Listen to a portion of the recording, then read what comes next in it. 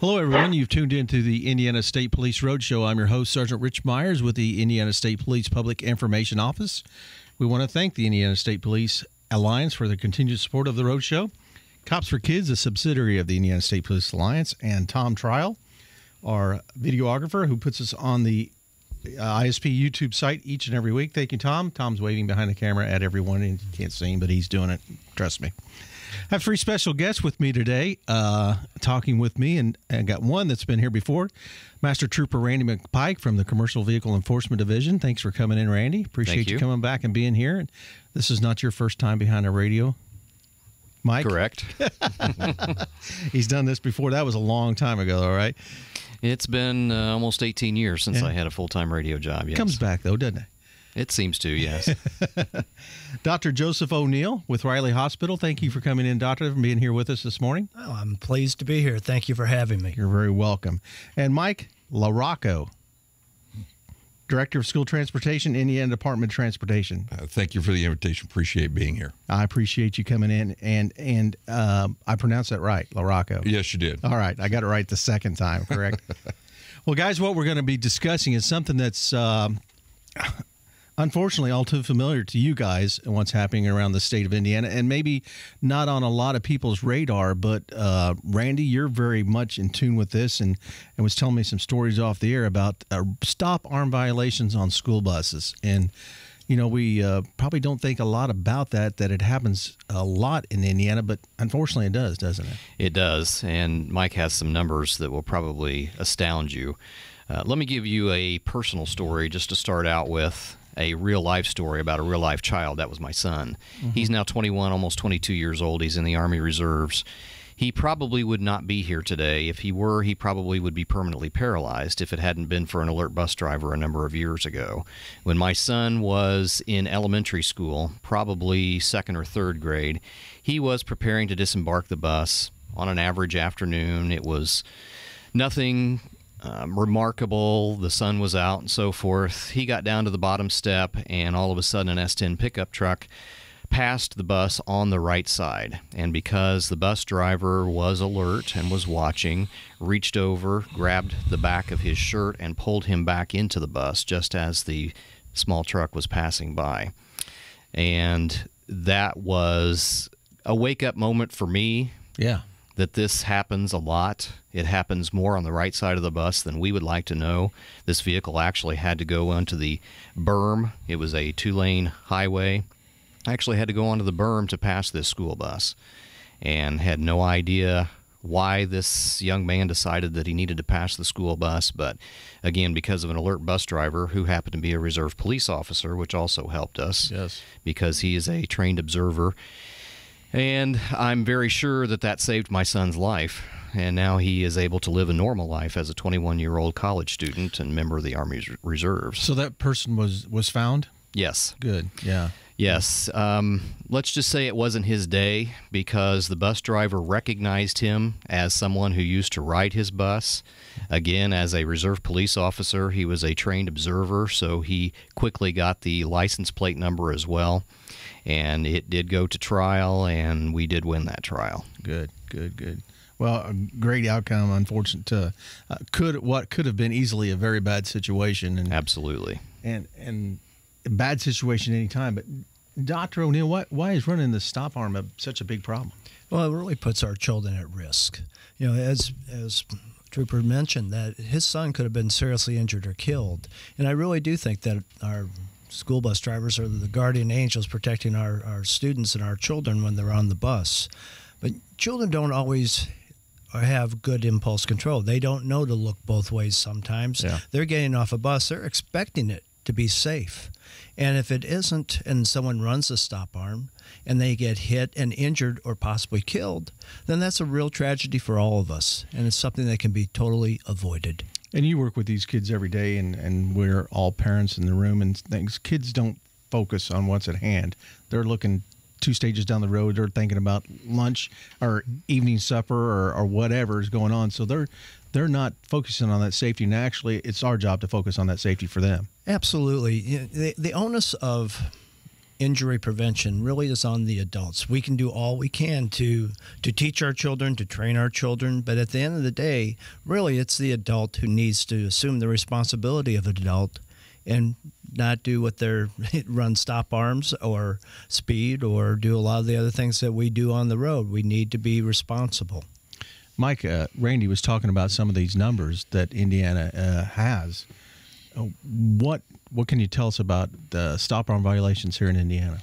Well, the uh, National Association of State Directors of Pupil Transportation, an organization that I belong to, does an annual um, survey every year, try to hit all 50 states and get a one day count, just a snapshot of what happens on a normal day and in school buses around the uh, country. In Indiana, our numbers, and, and, this was done on April 25th, a Tuesday, we had uh, about 145 districts reporting, and that's only about half of what we have in the state.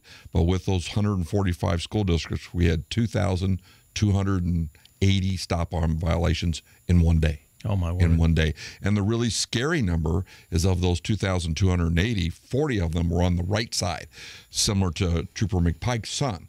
Someone go on the right side of that bus. And, and matter of fact, some of the stories I got from the districts were in one case, they went into the grass as a child was getting off the bus, and a parent was standing at the front door of the house, drove all the way into the grass to go around the bus. Oh, so it's it's it's something. These numbers are high every year. We're running anywhere close to two thousand to three thousand almost every single year for the last several years.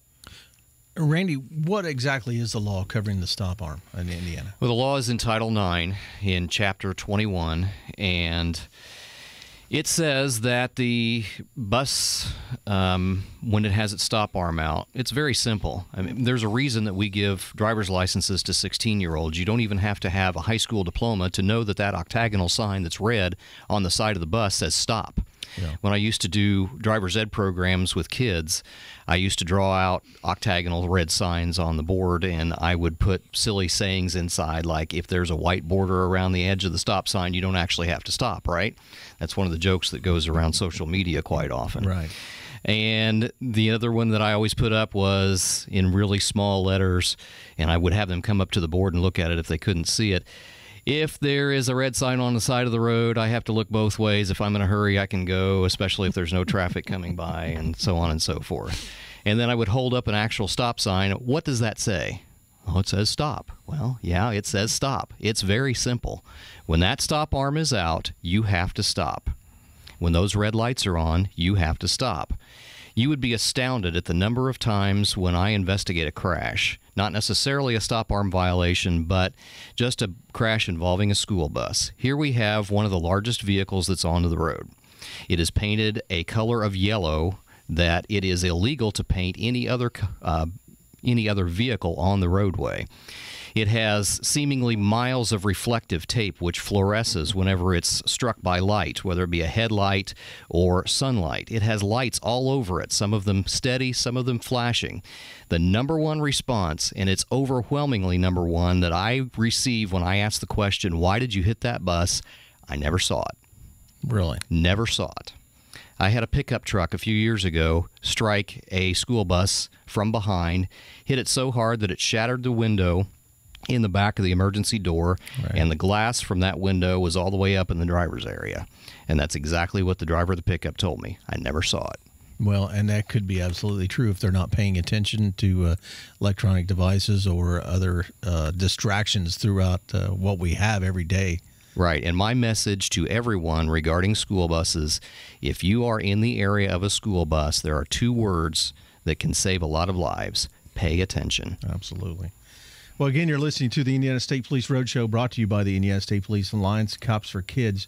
We're talking about stop arm violations. School's going to be starting up sooner than we know, and uh, we need to have these folks looking out for the school buses. And, and they're all over the roadway pretty much throughout Indiana anymore with the different schedules that schools have. Uh, they're traveling the, the byways. So, gentlemen, I'll throw this out for all three of you. What can we do to reduce these violations? Mike?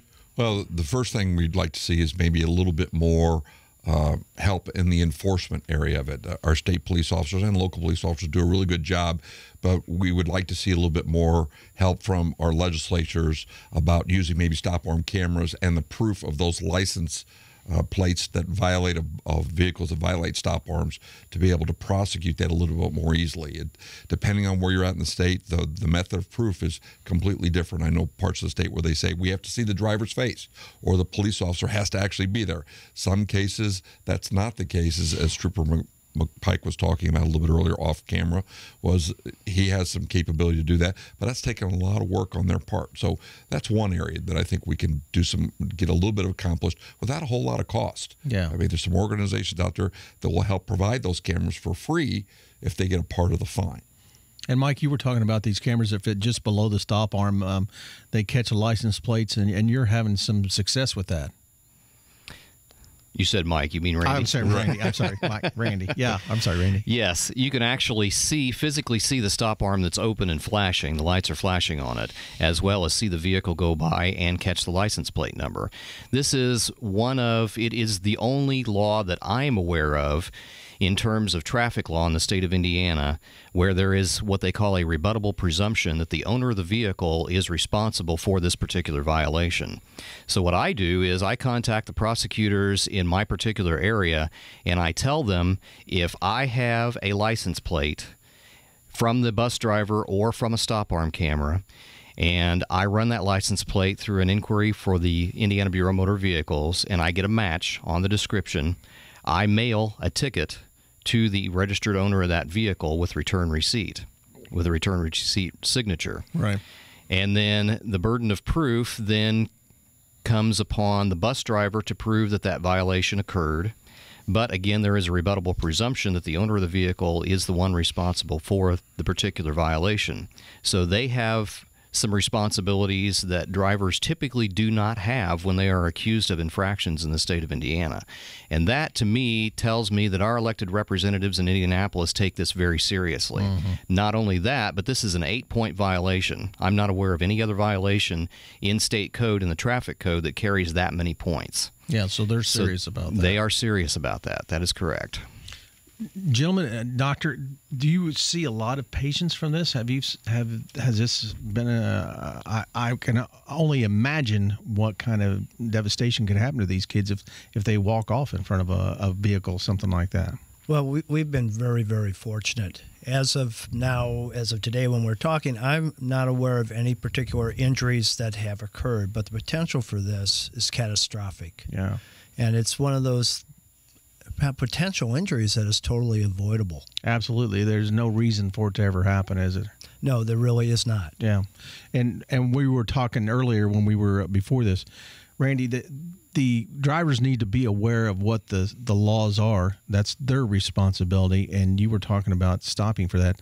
Explain a little bit about the uh, the median side of it being a, a grassy median or uh, a, or non-grassy median or what they call a uh, a concrete median. Right. If you are on a roadway and there is some sort of median or there is some sort of barrier that is not intended for vehicular traffic, if you are going in the opposite direction of the school bus, you are not required to stop.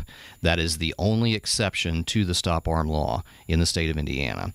So we have, for example, I work in the area around Kokomo, and there are some decorative areas where they have fencing and they have some grass on city streets.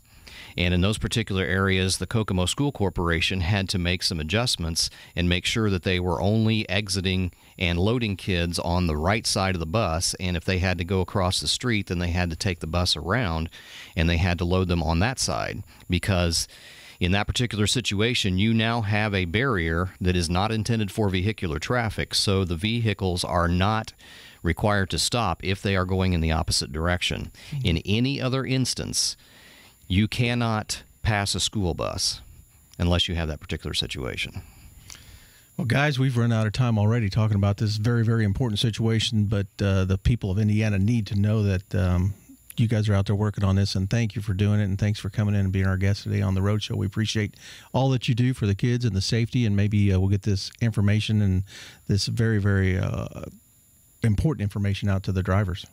Thank you. Well, thank you for thank the you. invitation. Thanks for coming in.